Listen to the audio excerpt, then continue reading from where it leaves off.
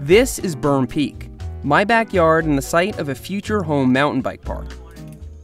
So far, we dug a climbing trail from behind my garage to the highest point on the property.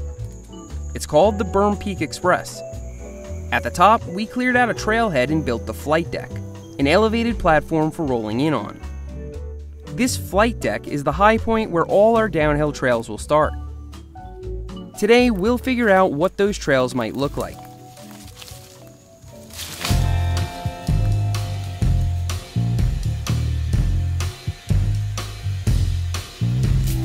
Now that I've hiked through here a few dozen times, I know it like my own backyard. I recognize the trees, the topography, and all the landmarks. But to show you what I'm talking about, we'll need a map. This white border is the property boundary of Berm Peak. To the north is Moonshangle Thickets, which is very steep and packed with rhododendron. To the south is Stumpthorn, which is where we'll be building our first trails. It also contains the highest point on the property, which according to my phone is 2,323 feet.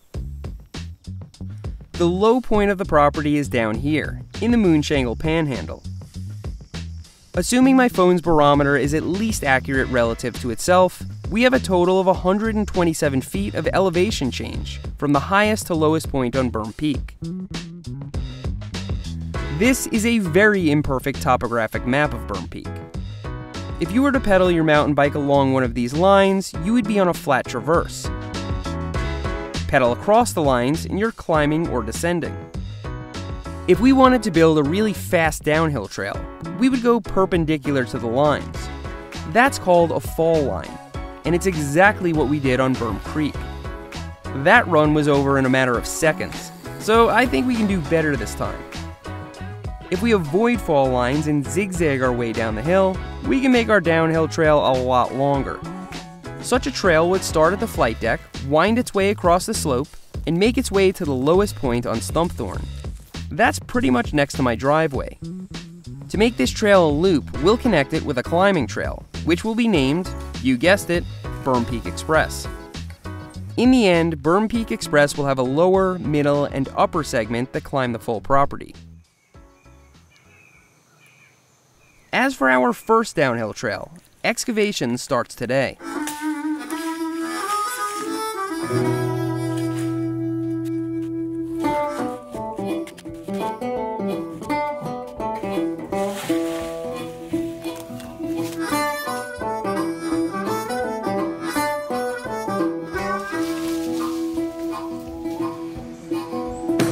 A bunch of you suggested I use bright sprinkler flags to mark the trail and I think that's a good idea. The flags are highly visible and really easy to collect later on.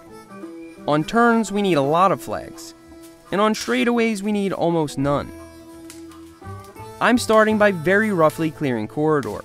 For this first pass, the machete seems to be the best tool, since it's lightweight and fast. When I remove a shrub, I leave the stump extra long so it's clearly visible when coming back through. To remove the stump entirely, I just pull away the topsoil around it, stick the reciprocating saw in the ground, and cut in a circle.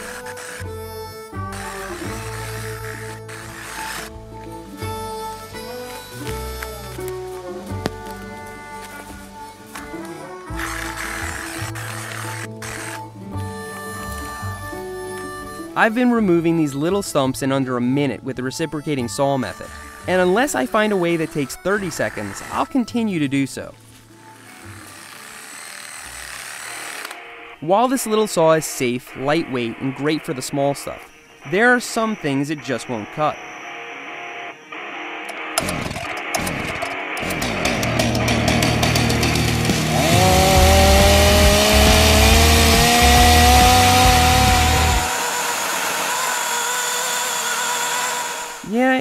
Actually sounds like a Power Wheels.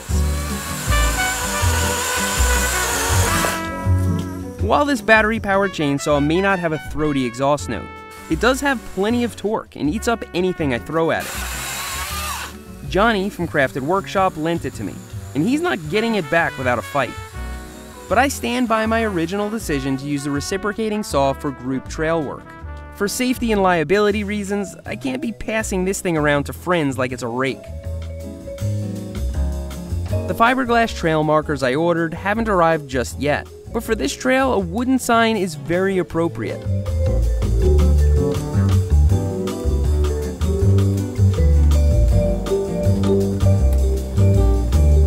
The name Woodpecker will make a lot more sense as we progress down the slope. Once we're finished clearing corridor, we can improve the trail and build features. We'll keep working up here in Stumpthorn until we've learned all we can, and then take our lessons to Moonshangle, where the topography is much more challenging. For now, this map is just a place for ideas. Oh man, that looks awesome, and it's already got the screw holes. Yeah. I think I have some stainless panhead screws for that. Oh, this is sick. My friend Stu used the CNC plasma cutter to make this sign for the flight deck, and it looks awesome. I'm mounting it off to the right to leave space for a roll in. You know, a roll in. Instead of a six foot hook to flat. After installing that sign, I got sidetracked and started thinking about what this roll in might look like, and ultimately took a break from Woodpecker to do some testing.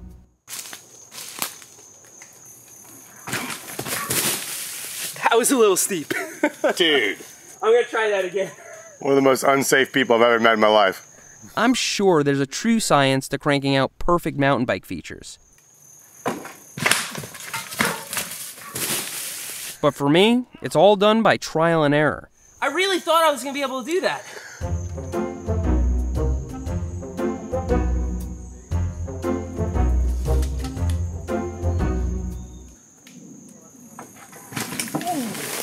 okay, that worked. I'll never build anything I wouldn't ride myself unless Phil's in town. To get this rolling just right, I need to figure out a grade where it's rollable, but just barely. When your only voice of reason is Kevin, you're in big trouble. Ultimately, we decided to dial it back to 126% grade and get to work.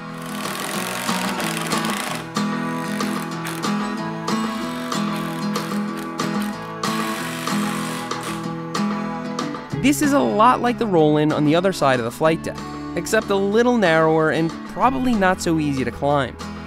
I know this roll in doesn't lead anywhere except for Berm Peak Express, but it'll be a fun way to get back home after a long day of building.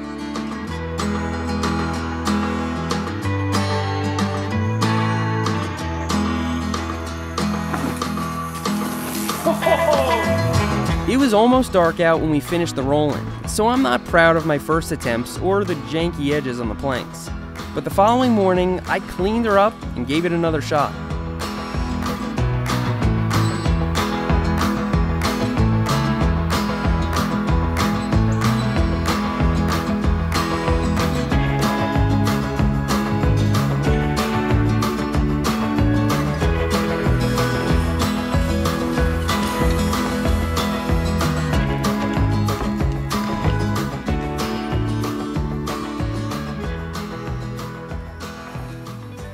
This roll in feels awesome. You get way behind your seat, and once your front tire hits the ground, it all just works. I'm calling it the pucker plank and crediting a very clever Instagram follower for that name. While the pucker plank doesn't get us anywhere now, it does give us plenty of speed for the future Moonshangle trails, which will start before the first turn on Upper Berm Peak Express. As you can see, this is all a work in progress. The last seven videos have all been Berm Peak related, so we might need to switch things up a little moving forward. Still, building this backyard trail is my main priority. Now that we have a loose plan in place, all the tools we need, and a solid roll in, our only limitations are the boundaries of this property. By the looks of it, we've barely scratched the surface. Thanks for riding with me today, and I'll see you next time.